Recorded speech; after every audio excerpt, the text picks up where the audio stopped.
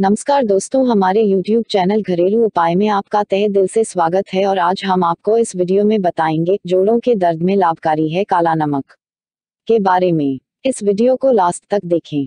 लेकिन इससे पहले मैं आपको बता दूँ, अगर आपने अभी तक हमारा YouTube चैनल सब्सक्राइब नहीं किया है तो दोस्तों, हमारे YouTube चैनल घरेलू उपाय तुरंत सब्सक्राइब करें क्योंकि इस चैनल पर हम आपके लिए ऐसी ही इन्फॉर्मेटिव जानकारी वाले वीडियो रोज लेकर आते रहते हैं।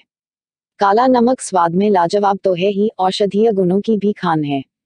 काले नमक में 80 तरह के खनिज पदार्थ पाए जाते हैं, जो शरीर को स्वस्थ रखने में काफ़ी कारगर हैं।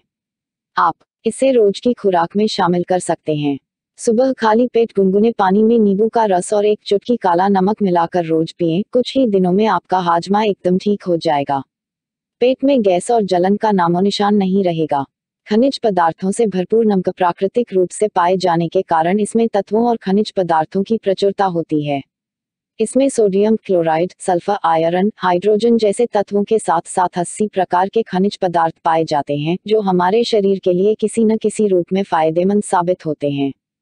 पाचन के लिए लाभकारी पाचन प्रक्रिया में गड़बड़ी होने से हम अक्सर पेट से संबंधित कब्ज, गैस, अपच, पेट फूलने जैसी कई बीमारियों के शिकार होते रहते हैं।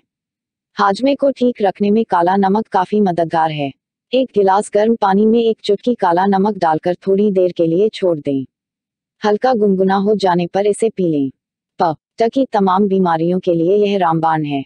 सर्दी खांसी में कारगर सर्दी, खांसी और अस्थमा के इलाज में काला नमक काफ़ी कारगर है। इसे आप गुनगुने पानी उबले अंडे में डालकर सेवन कर सकते हैं। काले नमक से बने गर्म पानी की भाप से कफ, बलगम और खांसी दूर करने में काफ़ी सहायता मिलती है। बालों की रूसी दूर करे रूसी हमारे बालों के लिए काफ़ी हानिकारक होती है। बालों के समय से पहले झड़ने, सफ़ेद होने और रूखे रूखे होने में रूसी एक महत्वपूर्ण कारण हो सकती है। काला नमक और लाल टमाटर का मिश्रण बालों पर लगाने से रूसी शीघ्र ही गायब हो जाती है। जोड़ों के दर्द को ठीक करे 40 साल की उम्र पार होते ही जोड़ों में दर्द होना आजकल एक सामान्य बात बन गई है। कई लोगों को तो जोड़ों में दर्द तीस की आयु पार करते ही शुरू हो जाता है। गर्म पानी में काला नमक मिलाकर दर्द वाले हिस्से में सिकाई करने से दर्द से बहुत जल्द आराम मिल जाता है।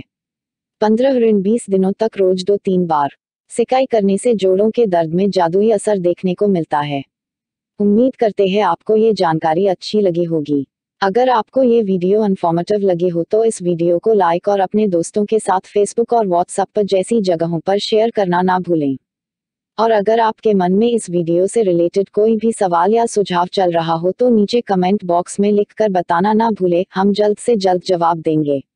और अगर आप इस चैनल पर नए हैं या अभी तक हमारा यूट्यूब चैनल घरेलू उपाय सब्सक्राइब नहीं किया है तो तुरंत सब्सक्राइब कर ले, क्योंकि रोज़ाना हम आपके लिए ऐसी ही महत्व पूर्ण जानकारी वाले वीडियो लेकर आते रहते हैं। मिलते हैं अगले वीडियो में, तब तक के लिए नमस्कार दोस्तों।